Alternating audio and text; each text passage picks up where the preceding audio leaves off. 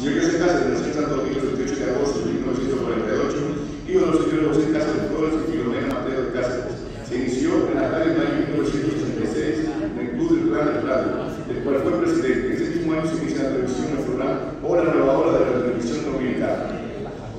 Este destacado periodista se graduó como honores en la primera promoción del Instituto Dominicano de Periodismo y se desempeñó como director de la revista Difusión Tributaria de la antigua Dirección General de Impuestos sobre la Renta en el año 1968. Fue además autor y director de la obra teatral Tatay Avenida, como obra teatral del año por el periódico Última Hora en su versión en 1970. Autor y director de Tatay 2 con el Teatro Rural. En el año 1970 fue premiado como autor y director teatral por el Club Literario.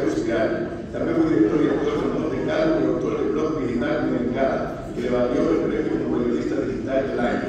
Además, señor José Cáceres fue director de espectáculos de la revista Ahora, director de la revista Galería del Periódico Nacional, director de la revista Opening, director y director de la revista. Acabamos de la 01238, que es la resolución mediante la cual se otorga un pergamino de reconocimiento a José Cáceres por su excelente trayectoria como periodista y comunicador nacional. Pasamos a votar.